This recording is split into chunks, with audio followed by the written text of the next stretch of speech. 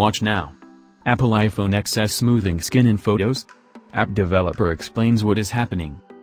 Apple iPhone XS and iPhone XS Max are facing some scrutiny over the quality of photos, with users complaining that the camera is smoothing out skin.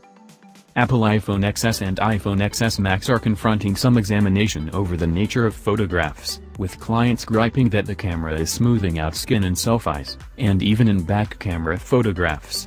There's an entire devoted string on Reddit examining whether Apple is applying a type of skin smoothing excellence channel to the selfie photographs, which would be a first for the organization.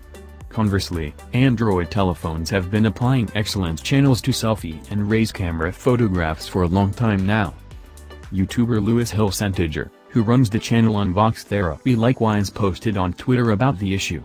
He had already brought up the iPhone XS Max charging issue on his channel. Clients have likewise taken to Twitter to examine this skin smoothing issue finally. On Reddit, some have contrasted the photographs with a Snapchat channel impact. Others have shared examples demonstrating the distinction in photographs taken with an iPhone X and iPhone XS with the skin smoothing issue in core interest. A client named Abdul Dremeli, whose selfies with the skin smoothing impact featured originally circulated around the web, additionally posted a tweet saying Apple connected with him and affirmed they are working in this issue. Dremeli composed on Twitter in answer to a 9to5Mac article, I'm the person in these pics. Apple connected with me yesterday and are taking a shot at this issue effectively. Apple has not yet given an open remark on the equivalent. In the interim, a few clients have remarked on the Reddit thread that killing the Smart HDR highlight can settle the issue to a degree. iPhone XS and skin smoothing, what this engineer needed to state.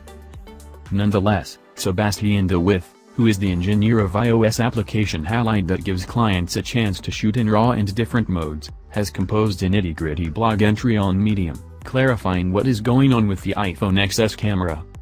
The Halide application is a paid one on iOS and costs Rs 499. The designer differs that skin smoothing is an issue and says it doesn't exist. He brings up that there is better and more forceful clamor decrease because of combined exposures. These blended exposures are lessening sharpness by taking out sharp light, dim complexities where light hits parts of the skin, as per him. Apple has examined in its iPhone XS introduction, where it discussed how the camera will now catch various pictures, at different levels of presentation and consolidation them to make the best outcome.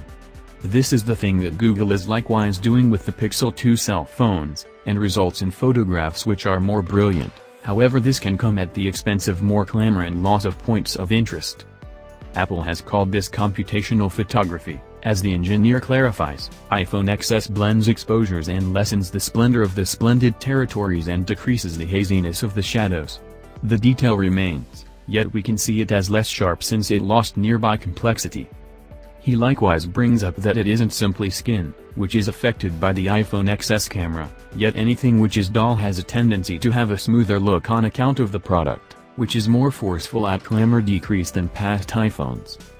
On the selfie camera issue, he calls attention to that on the grounds that the sensor is littler, and takes in less light, which thus implies more commotion, and hence more clamor decrease.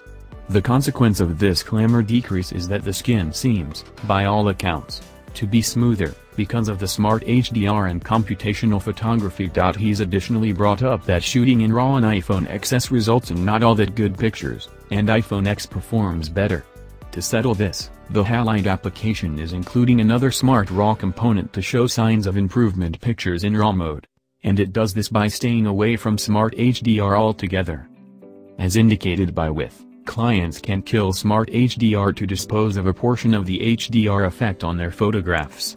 The engineer takes note of this is only the principal variant of Apple's Smart HDR and the organization can enhance it.